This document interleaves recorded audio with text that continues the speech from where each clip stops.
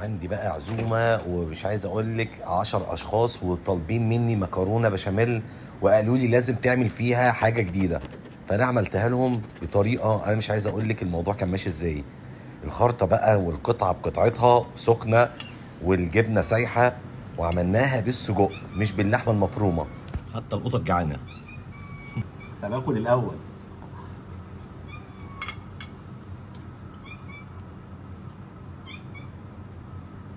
مبدئيا أنا أحلى مكرونه بشاميل اللي عملتها في حياتي. جامدة جدا.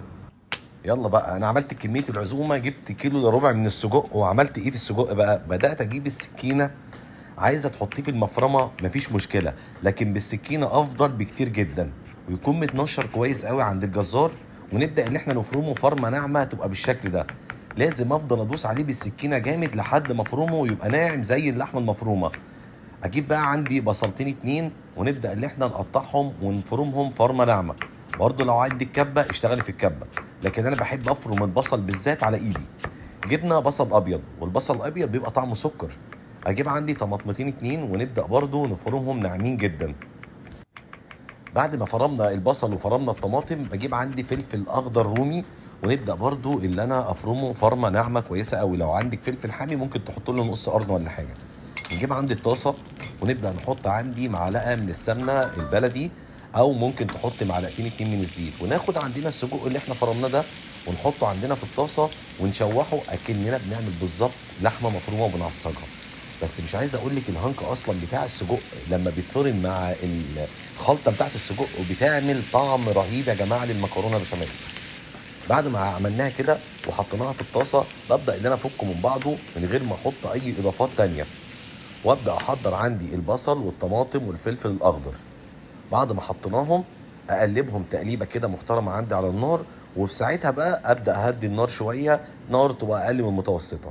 أحط عندي شوية ملح صغيرين مع شوية فلفل أسمر ونقلب التقليبة التمام. عايزه تحط معلقة صلصة طماطم مفيش مشكلة. تحط شوية مية صغيرين وتسيبهم على النار لحد ما يبدأوا اللي يتبخروا معايا. حلة بقى عندي على النار. أحط فيها 2 لتر من الحليب. أنا بقول لك الكمية بالظبط بتاعت كل حاجة. 2 لتر من الحليب 3 ورق لورا. أحط زعتر أو روزماري. أنا المكعب دي أنا اللي عاملها. وان شاء الله هديكوا طريقة حلوة قوي لمكعب المرق. عاملها حصري لحضراتكم وان شاء الله انزلها قريب.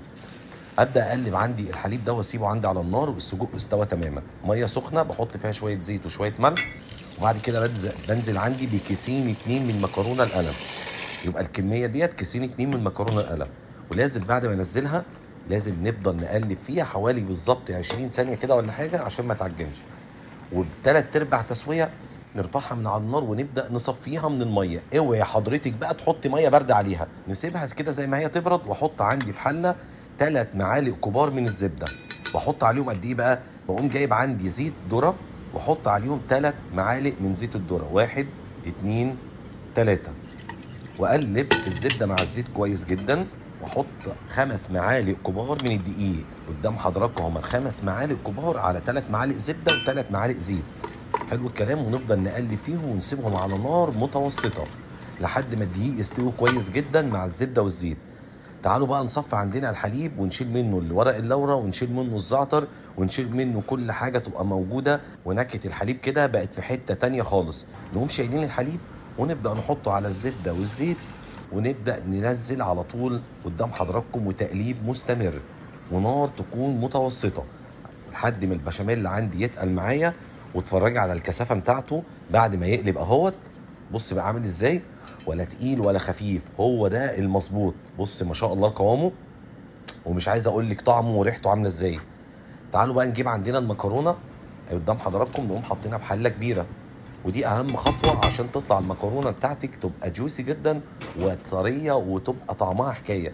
آخد حوالي خمس كبشات كده من البشاميل ونبدأ نحطهم على كل كميات المكرونة زي ما حضراتكم كده شايفين.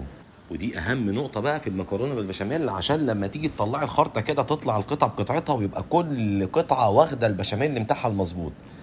بعد ما حطيناهم تعالوا بقى نديها تقليبة كده محترمة بالمعلقة.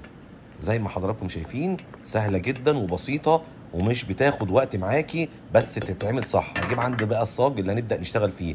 يا ريت الصاج أو الصينية اللي نشتغل فيها تبقى عالية.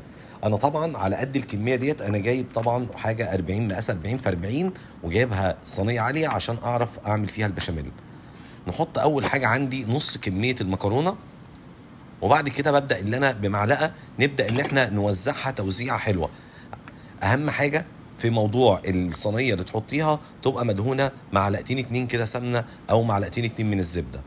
وبعد ما وزعناهم وتأكدنا التوزيعه بتاعتنا تمام؟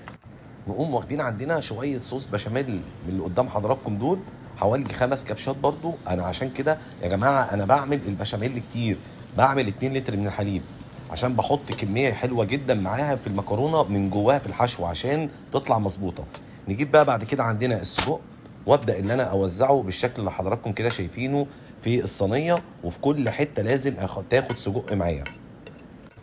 بعد كده ببدأ آخد عندي نص كمية المكرونة اللي بعد كده ونقوم حاطينها ونبدأ نجيب عندنا معلقة وأوزع يا باشا كل الكلام ده هو في الصاج قدام حضراتكم.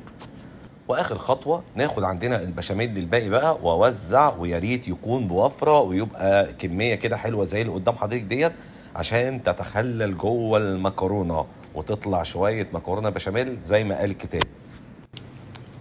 بعد ما كده بوزعها عندي بالمعلقة وأجيب معلقة ونبدأ نوزع البشاميل جوه المكرونة وكله تمام التمام يا باشا وتحت السيطرة. شوية جبنة بقى موتزاريلا وعندك أنواع كتير جدا. يا جماعة الموضوع مش في الجبنة آه النوع طبعا بيفرق ولكن التسوية هي اللي بتفرق. ما تحطيش البشاميل عندك أو المكرونة بشاميل عندك تبقى ملاصقة للشواية. لازم تحطيها من تحت. عشان تستوي براحتها والجبنة عندي ما تنشفش.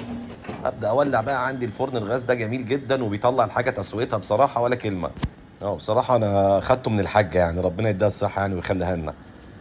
شغلت الشعلتين اتنين وظبطتهم درجة حرارة متوسطة ما يبقاش الشعل عالية. وبعد كده بقوم قافل الفرن لحد ما يحمى معايا. بعد ما يسخن نقوم حاطين عندنا المكرونة ونقوم قافلينها ونسيبها لمدة بالظبط ربع لتلت ساعة. واتفرج يا باشا المكرونة من تحت مستوية مفيش بعد كده. وبص شكل الجبنه عاملة إزاي؟ وشكل المكرونة حاجة تفتح النفس. أهم حاجة بقى في المكرونة بشاميل تطلعيها حضرتك وتسيبيها تبرد. أيوه تسيبيها تبرد حوالي خمس دقايق كده. بعد كده نقوم جايبين عندنا السكينة ونبدأ ناخدها طولا في عرضا زي ما حضراتكم كده شايفين يا عيني على الجمال. بس ما تبقاش باردة قوي عشان الجبنة برضو تشد كده وتعمل معاها شغل عالي. وهوب بنقوم جايبين المغرفة بتاعتنا وهوب بنقوم شايلين اوعى وشك. الله أكبر. أنا مش عايز أقول لك ريحة عاملة إزاي. ومن جوه بص تاخد القطعة بقطعتها والجبنة سايحة وشغل عالي قوي يلا بينا ندوق بقى ونشوف الموضوع. حتى القطط جعانة. طب آكل الأول.